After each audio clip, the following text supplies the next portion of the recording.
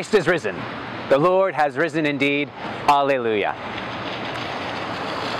This is the second week, second week of Easter, and you can probably notice two things. One is it's snowing, so it must be the middle of April in Western New York, right? And two, uh, I'm here at the National Comedy Center, as you can see behind me. Now you may be wondering, why would Luke be at the National Comedy Center for church? What about the National Comedy Center says the second Sunday of Easter, Alleluia, Christ is risen? Well, there's a good answer to that. There's an ancient tradition in the church that goes way back to the early church fathers, to St. Augustine, to Origen, and right back to the second century. That the second Sunday of Easter was a holy humor Sunday. The idea was, of course, that that God played a trick on the devil. He kind of pranked the devil by sending Jesus down to the grave. That God basically tricked the devil into freeing everybody. That Christ led on free all the captives that had been in hell. And hell had no power and death had no sting. And so that's kind of this joke that God had, this, this sense of divine humor. And so the second Sunday of Easter became a, a Sunday where we talked about the Easter laughter, the laughter of rejoicing and of joy. And so here on this second Sunday of Easter, I thought it appropriate to start in Jamestown's own National Comedy Center, a place that we can think about the humor of the moment. My kids asked me to make sure I started one of my patented dad jokes, so I'm going to do just that. 101 jokes so bad, they're good. Dad jokes. All right, this one here is for you all. Why don't oysters share their pearls? Because they're shellfish obvious, of course. I'll, I'll, spare you the rest. But there's some really great groaners in here.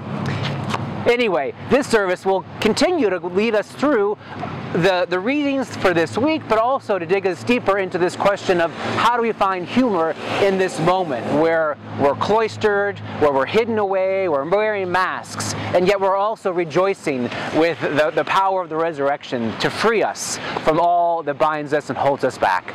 So, so glad you're with us. Join me as we um, open in a world of prayer. None of us likes to look foolish, but which is sillier? Chasing after the world and all its gaudy trinkets, which flatter our souls, or being a fool for Christ, imitating him in service to others, offering ourselves in love and joy to the world. Let us admit to God the foolish choices we make each and every day as we pray, saying, you, know better than we do, amused God, what important people we believe we are. Believing we have to be serious all the time, we miss out on the joy of your creation. Choosing to feast on the pain of the world, we skip the picnic offered in paradise. Clinging to the despair which is our best friend, we ignore Jesus, who can bring us home to your heart. Forgive us, heart of joy, and make us open to the startling and upside down ways in which you work. Fill us with Easter's laughter. Fill us with your healing joy. Fill us with the love poured into us through Jesus Christ, our Lord and Savior. And now let's offer a time for silent prayers.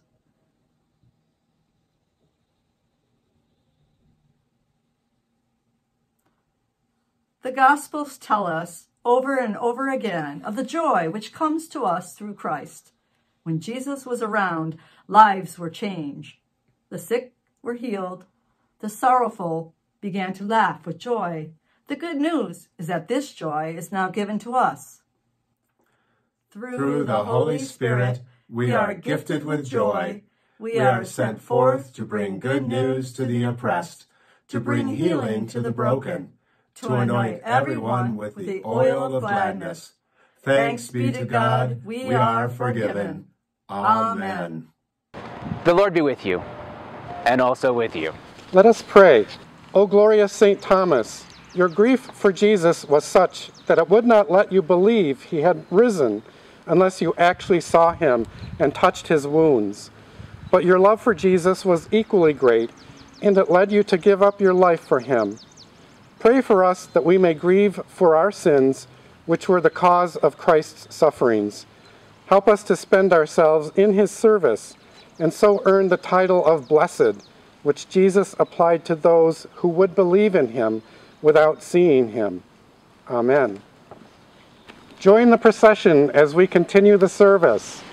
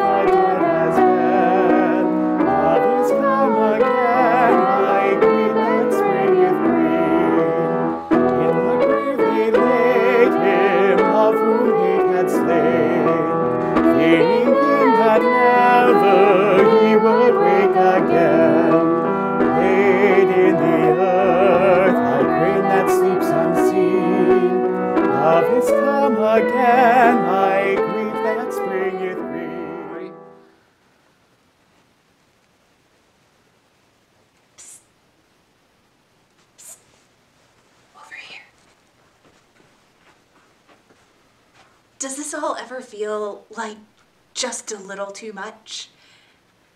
And all you want to do is hide? Yeah, me too. Hang on, I'll come out join you. I've been thinking about a psalm which is a really old prayer, kind of the original prayer book. What Jesus would have prayed actually when he was around, you know? And, and this bunker got me thinking of the first verse of the psalm. Protect me, O God, for I take refuge in you. I have said to the Holy One, You are my God, my good above all other. You know what? I want to take you on a journey through this psalm. So, come on and we're going to take a walk. From the bunker to the beauty that is outside. This is what the psalmist writes. All my delight is upon the godly that are in the land, the helpers, the good people out there caring for one another, upon those who are noble among the people, those who run after false gods. In our culture, maybe it's prestige or power or money or even certainty.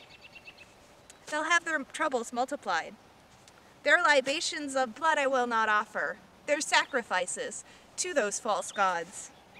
Nor will I take the names of their gods upon my lips. O God, you are my portion and my cup. It is you who uphold my lot, like a warm mug on a cold day. My boundaries enclose a pleasant land. Indeed, I have a goodly heritage. I will bless you, O God, who gives me counsel.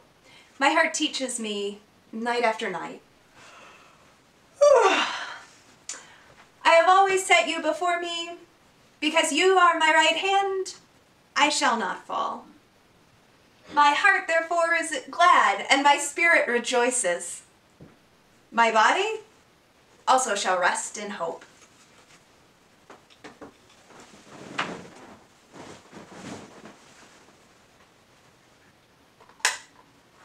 For you will not abandon me to the grave. Nope. And you will not let your Holy One see the pit. Oh.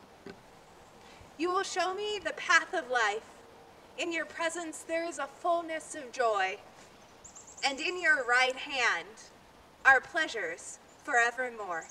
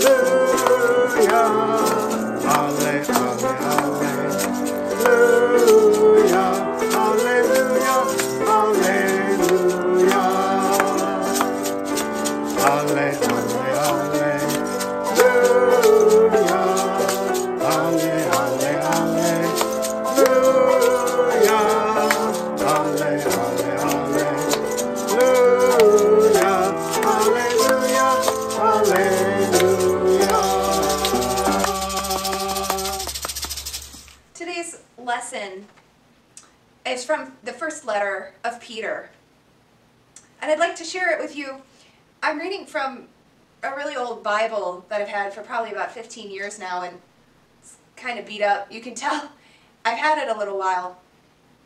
And I've been thinking about that too in this moment, the way, well, we might feel a little bit beat up, but there's so much going on, so much more going on inside, you know? There's a treasure. Here's what First Peter has to say. Blessed be the God and the Father of our Lord Jesus Christ. By his great mercy he has given us a new birth into a living hope through the resurrection of Jesus Christ from the dead and into an inheritance that is imperishable, undefiled, unfading, kept in heaven for you, who are being protected by the power of God through faith for salvation, ready to be revealed in the last time. In this you can rejoice, even if now for a little while you have to suffer various trials, maybe getting a little battered along the way, worn out, so that the genuineness of your faith, being more precious than gold, that, though perishable, is tested by fire, may be found to result in praise and glory and honor when Jesus Christ is revealed. Although you have not seen him, you love him. And even though you do not see him now, you believe in him and rejoice with an indescribable and glorious joy, for you are receiving the outcome of your faith, the salvation of your souls. And this idea of even though you haven't seen him, you love him. And there's joy in that, even in the midst of, of hard times. Well, it makes me think of one of Jesus' friends, Thomas. Uh, but we'll hear about him later. Thomas was able to believe in the resurrection, resurrected Christ because he met him. He saw Jesus. But for us, not very many of us have visions appearances of Jesus. So we see God and Jesus appearing through the lives of others. They show us who God is and who Jesus is. And all this has me thinking about special people in my life. I was thinking about this is my uh, wedding photo album. And I was thinking of my grandma and grandpa. And I want to show you one of their pictures. And this is a picture of us laughing together. And Grandpa had the best laugh. At his funeral, when we were all, the whole family was gathered together, we were all telling stories before the service. And the priest came out and he said, Is this a party or a funeral? And that's the way Grandpa would have wanted it.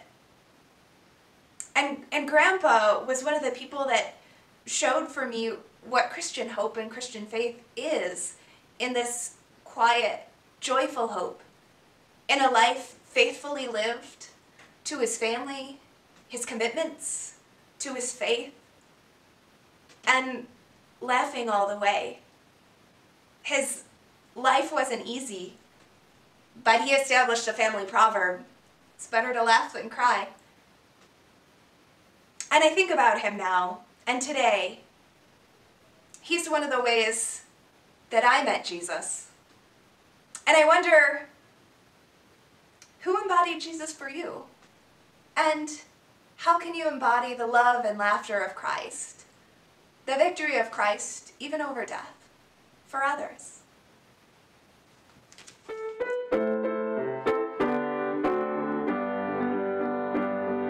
Halle, halle, hallelujah.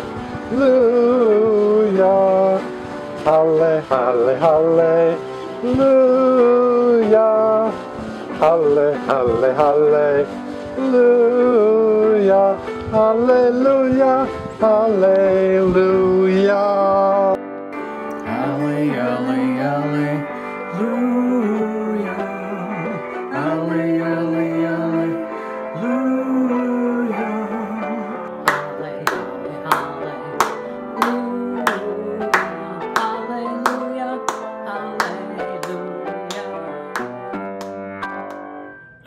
So it was that the early Christian church sprang into life through the glory of Easter. What are you talking about? Hello? I'm talking about the Bible stories that tell us that after Jesus rose from the dead, the first Christians gathered together as the perfect church. Isn't that how it happened? No.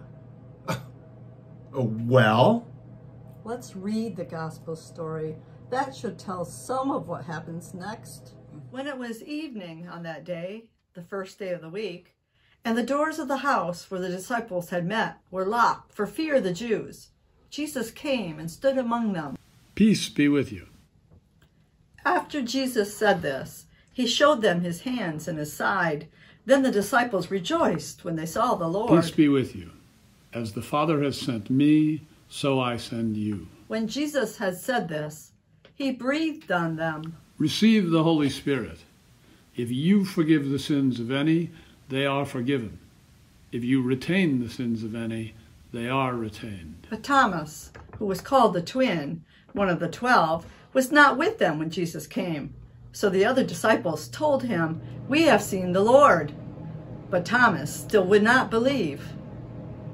Unless I see the mark of the nails in his hands, and I can put my fingers in those marks in the nails uh, in his hands, and I could put my hand in his side, I will not believe.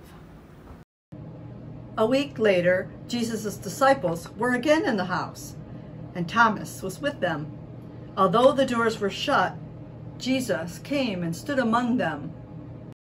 Peace be with you. Then Jesus spoke directly to Thomas. Put your finger here and see my hands. Reach out your hand and put it in my side. Do not doubt, but believe. My Lord and my God! Have you believed because you have seen me? Blessed are those who have not seen and yet have come to believe. Now Jesus did many other signs in the presence of his disciples, which are not written in this book. But these are written so that you may come to believe that Jesus is the Messiah, the Son of God, and that through believing you may have life in his name. Not everyone believed the story right away. For some of them, it took a lot of convincing. But they did manage to get together in a tiny little church. Great story. And then they all lived long and prospered? Well, no, not quite. What happened? Well, people tried to follow Jesus and his teachings, but some failed. They tried to share, and sometimes they still failed. But somehow, God was in the midst of all of it. Not unlike today. It's a good thing God has a sense of humor. It strikes me that the disciples weren't the only people in locked rooms this week for fear of disruption. Many of us are trying to figure out how to work from home or how to um, continue to keep normalcy at home. And so we find ourselves locked behind doors for fear that our children may distract us during a video conference. We're locked because our dogs may need our attention when we are trying to communicate and, and do our work. And so here I am in my attic, um, like many other folks. If you happen to watch late night television or even just the regular news, you've seen all kinds of unusual um, filming locations. Uh, I know many of the comedians have been broadcasting from their basements or their attics or even the kitchen table with children climbing all over them. This is a humorous and bewildering moment in which we find ourselves much like the moment that the disciples found themselves in. They probably didn't find the humor initially until long after the fact. Like we find the humor in things when we know where that we're safe. They were still in that moment of worry and of anxiety. Perhaps like many of us are as well in this moment where we fear for uh, this coronavirus that is shutting us all in behind locked doors. But I've always loved this story about Thomas, doubting Thomas. And I think he gets a bad rap. And I've preached about that before. But what I was struck by this year was that Thomas is called the twin. And we never hear about who his twin was. And I have to believe that the, the, the writer who wrote the Gospel of John calls him a twin on purpose. Because I think that you and I are the missing twin. So much of our lives call for us to doubt about how to make our way through the world. Is this virus really as dangerous as it seems? What is six feet between uh, our, our, our, neighbors? How are we to, to navigate this world? And so we, we probe and we want hard facts. We want to understand. We want to know what this all means. And yet, like Thomas, the question is when we're confronted with the truth, what will we do? My hope is that this story is not a story of judgment, because I don't think it is. I think it's a story of new expanding horizons. It's a story uh, of resurrection power, of understanding new realities that were fur furthest from the mind before they came to the fore of the mind. And so I think that's what I'm, we're called to this, this day. We're called to be like Thomas. Not to doubt the authorities, not to, to look for hard facts per se, but to live our lives in such a way that opens up new vistas, to think differently about how we find ourselves. So in the midst of this scary moment, I invite you to think through all the things that you might be grateful for, all the things that you might find new opportunities for, even when we find ourselves limited in our captivity. I started off at the beginning of this service talking about this holy humor idea that, that uh, by taking Christ captive, Christ was able to free all the captives. We're in a moment of captivity of sorts, shackled in our homes, not able to leave. And I wonder if it isn't a moment of freedom as well, where we're freed from any of the obligations and the busynesses that kept us occupied. We have more time to think about who we are and, and what we're called to. And we have to find humor in all that as well. For instance, about a year ago, a year ago or so, I was thinking about how I could make each Sunday new and unique uh, make it an event of sorts where there was a theme of the day and we brought in new and different people to contribute to that service. And it strikes me that that's the moment I find myself in. And I have to pause and be grateful for all the opportunities that the hardship of this pandemic is creating. Getting more and more people involved in our services by playing um, bit roles and leading worship in ways I'd never thought I never thought that what I was hoping for would come to reality in this way. Spending hours editing together footage of all of you that you've shot at home wasn't what I imagined when I had hoped for a unique service with each week being a new event. And yet, as I chuckle, I'm also grateful. You're going to hear um, some other testimonials from people who are who are grateful for the the perhaps the things they might also grumble about. And that strikes me, that's what this story is all about. Finding eyes of faith to see new realities, new realities of hope and of resurrection, even in our midst. So as you walk through this week, I invite you to take um, a moment to reflect on the humor, the hilarity, and also the, the seriousness of it all. And I invite you to um, perhaps take a picture of what you find funny in your life in this moment. And with holy humor, eh, to make, send it to me, and maybe we'll find a way, or make a video of, of the things that you find humorous, and we'll find a way to share that with, with all of us. Thank you for being on this journey with me as we walk through these um, bewildering and hilarious moments uh, and uh, anxious moments and also um, maddening moments and moments where we, we cry um, out, of, out of fear and of, of isolation please know that you're all deeply in my hearts and in my, my mind and in my prayers. We'll see you soon. And now uh, I'll turn it over to many of, of you all to share your story about what you're grateful for as kind of our, our prayers of the people. Amen.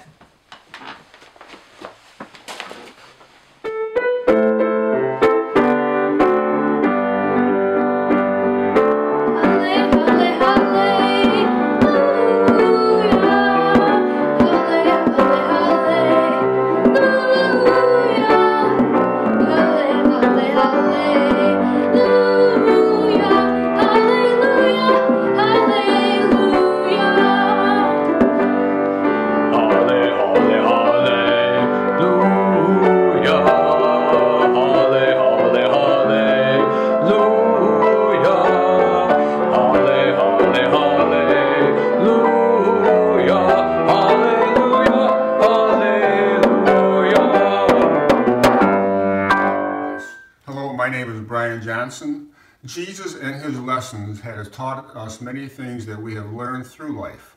Circumstances teach us lessons also. The circumstances of this, the um, corona, coronavirus has taught us many things, I hope.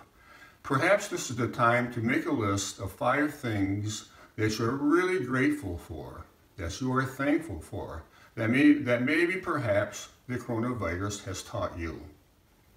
Amen. Got the clear? Okay, good.